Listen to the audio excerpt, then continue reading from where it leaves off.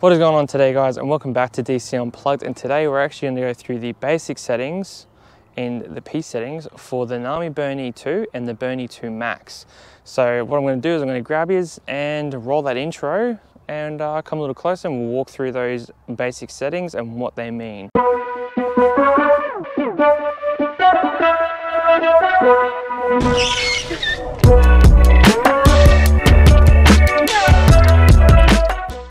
Okay, so to access your P settings, you'll need to double press the mode button, which you'll see here.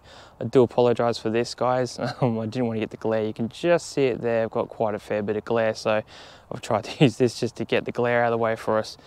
Um, so if you just double click the mode button, which is just which is the M on the very right hand side lower button, this is a little M, so now we've double tapped that mode button twice. You can see that just there. We're now in P1. Now P1 is to actually calibrate the E mode, D mode, uh, C mode and X mode on your Nami Burn E2 Max. And this will be the same for your Nami Burn E2 as well. So uh, we're not gonna worry about that one because that's going into the advanced settings, which will be covered in another video. So what we wanna do is we wanna click up to P2 so P2 is your dashboard brightness. So obviously 5 is being the brightest. So if we actually go into that, just press mode.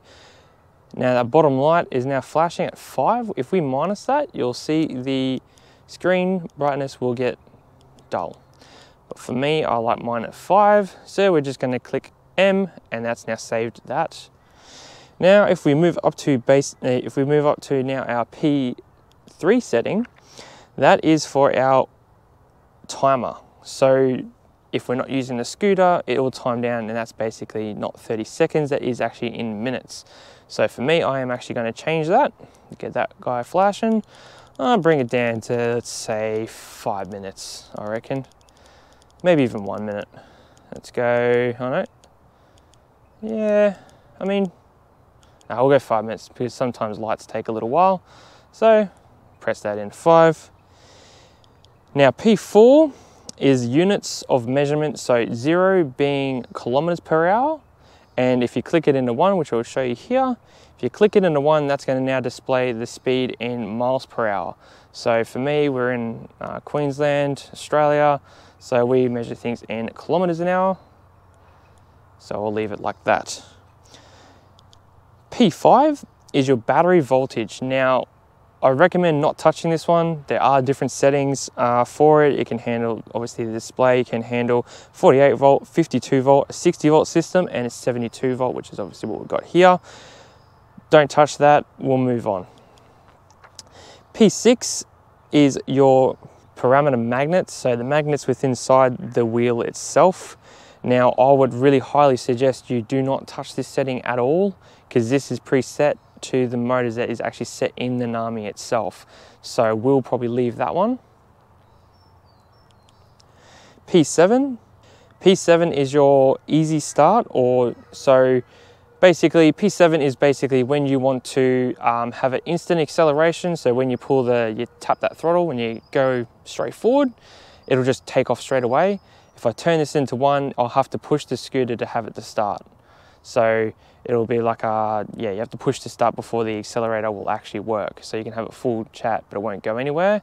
This is a setting for um, people that aren't really experienced with the NAMIs yet. That's a pretty good uh, setting to put it on. All right, moving on. So P8 is actually your tire size. So it's an 11 inch tire. We'll leave that. That's both for the Nami Burn E2 and the Nami Burn E2 Max. They're both the same.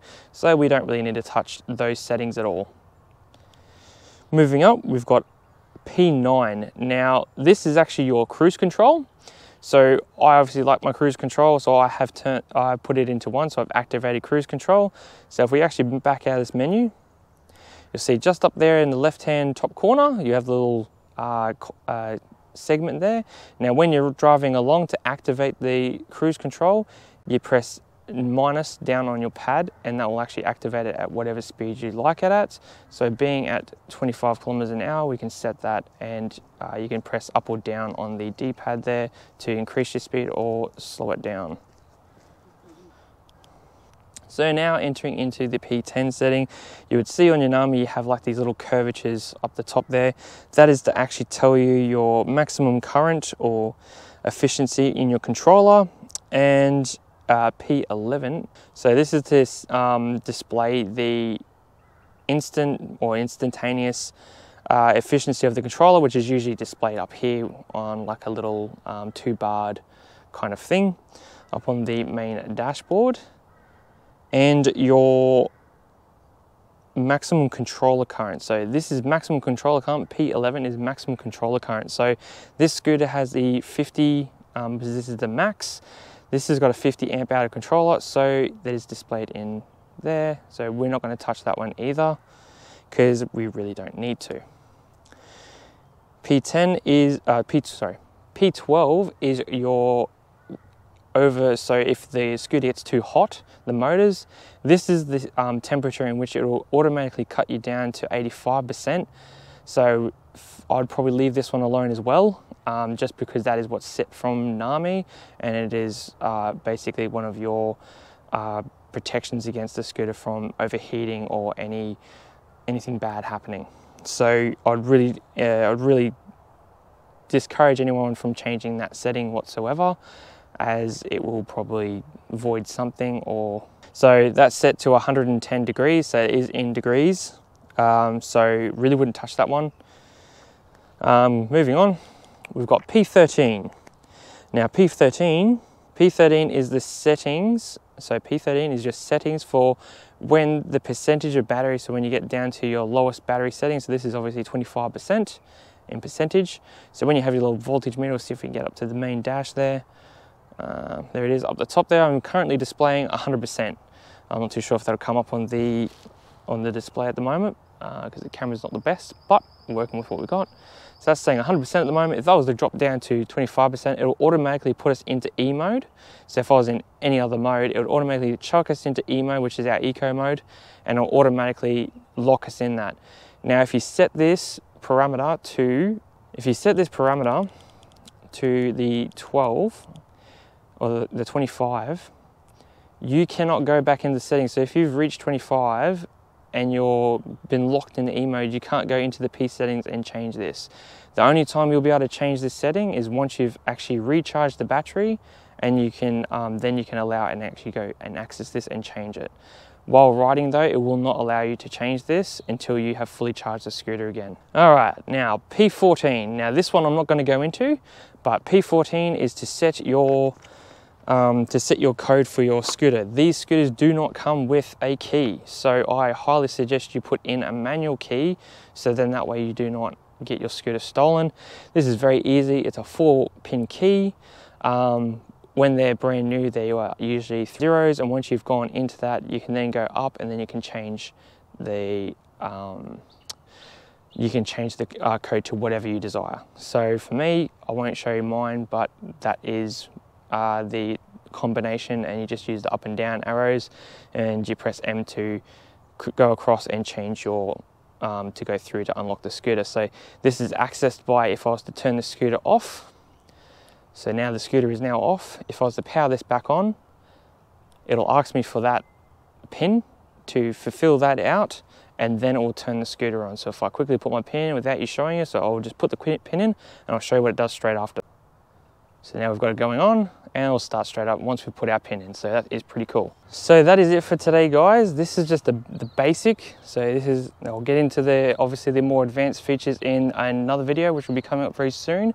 But this is the basic rundown of the basic settings in the NAMI Burn-e 2 and Burn-e 2 Max.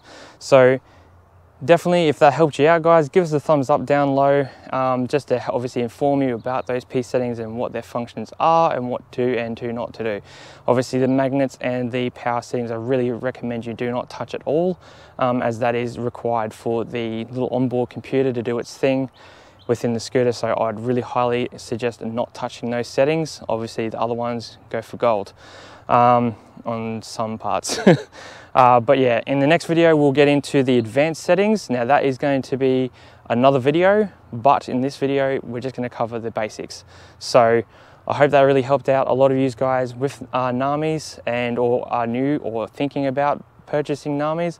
And I really hope that helped you along just to get a rough idea of how to set up your NAMI when you get your NAMI um, or if you already have your NAMI.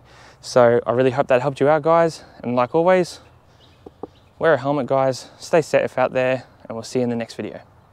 Oh, such a rookie mistake, almost. So as well as that guys, go up there, like and subscribe.